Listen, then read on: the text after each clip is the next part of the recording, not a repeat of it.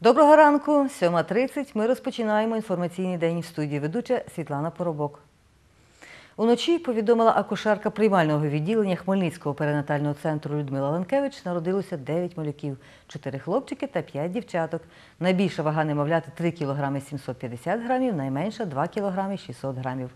І за минулу ніч, як повідомляє Людмила Чернилевська, тимчасово виконуюча обов'язки прес-секретаря патрульної поліції області, на автодорозі Житомир-Чернівці патрульні виявили водія, який керував «Фольксвагеном» із ознаками алкогольного сп'яніння.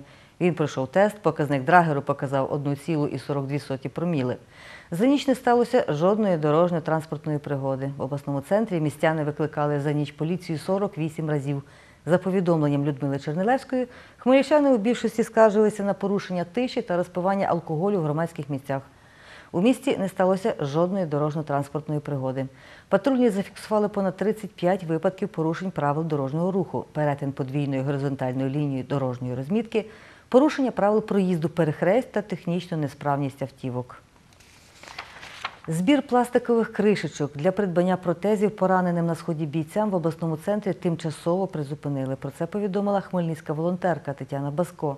За її словами, волонтери чекають продовження міською радою договорів оренди приміщень у торговельному центрі Дитячий світ, де раніше збирали кришечки. Нагадаю, пластик в Україні збирає благодійний фонд Лелекера. Їх він віддає на переробку, а підприємство-переробник повертає гроші за сировину волонтерам. За них пораненим на сході військовим купують протезі. Стартував всеукраїнський громадський проект зі збору пластику у Хмельницькому влітку 2015 року. Вже і держава звернула увагу на наших хлопців без рук і без ніг. І є вже програма про протезу, безплатне протезування хлопців.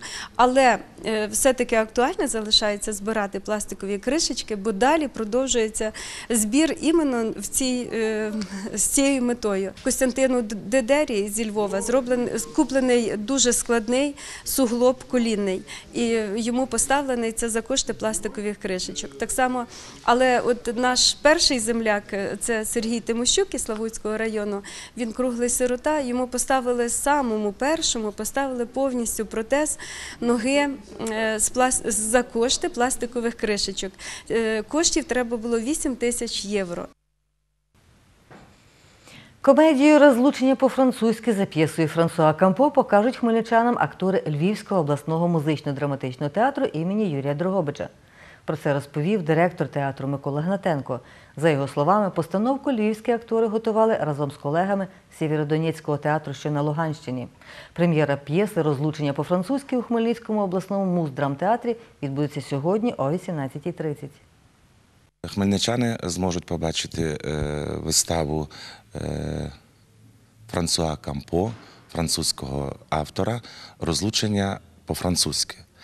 Е, Цю виставу здійснили е, постановочна група з міста е, Сєвєродонецьк, це Луганськ, де є евакуований театр. І вона відбулася в рамках Україна змінимо Україну, Схід і Захід разом. Цю ж саму виставу восени побачить сєвєродонецький глядач.